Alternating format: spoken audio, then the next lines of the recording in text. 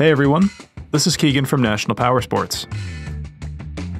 Today we're taking a look at this 2012 Yamaha V-Star 950 with 24,368 miles. Powered by a 942cc V-twin engine with a 5-speed transmission, the V-Star puts out 50 horsepower at 5,600 RPM and 58 foot-pounds of torque at 3,500 RPM. It has a seat height of 26.5 inches and a dry weight of 612 pounds. This bike has been upgraded with ape hanger handlebars, Cobra slip-on muffler, grips, mirrors, and steel braided lines and cables.